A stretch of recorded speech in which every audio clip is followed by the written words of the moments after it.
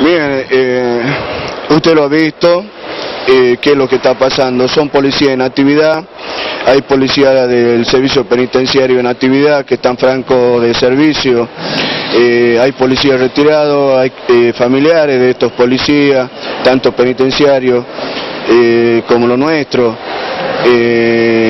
Exonerados, como eh, lo está diciendo que únicamente hay exonerados, no es cierto. Eh, los que están, eh, están para apoyarnos, ellos saben que son civiles, saben de su problemática y ellos cada uno por su medio, por su forma y en, en lo legal están viendo por, por esa situación. ¿Cuáles son las medidas que van a tomar ustedes?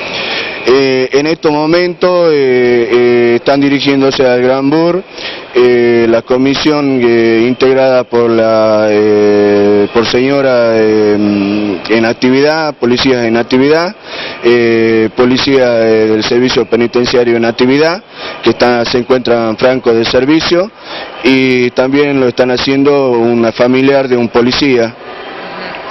Eh, hablaba de que no los iban a dejar ingresar acá al sector policial Sargento Suárez. ¿quién, eh, Ayer lo decía el jefe de la policía. Sí, e- eso es cierto, por orden de él, ¿no es cierto? Eh, no nos iba a dejar pasar. Sin embargo, el señor Ormachea, después de haber hecho un examen de conciencia y después de haber eh, apelado a, a su vieja investidura como policía, eh, no, ha, eh, no ha permitido el paso, estamos acá adentro. La espera que nosotros eh, estábamos teniendo con respecto a la gente de Orán ha sido detenida por la Guardia de Infantería de la Policía de Salta.